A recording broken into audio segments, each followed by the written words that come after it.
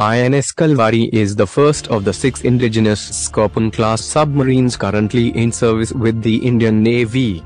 It is a diesel-electric attack submarine which is designed by DCNS, French Naval Defense and Energy Company, and was manufactured at Mazagon Dock Limited in Mumbai.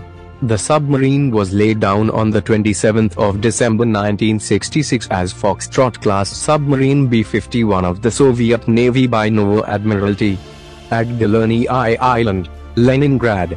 The submarine was launched on the 15th of April 1967 and competed on the 26th of September 1967.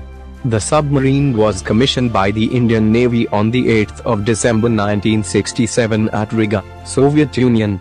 The Navy celebrates Submarine Day annually on the 8th of December to commemorate this occasion. 2. 3. The submarine was decommissioned in 19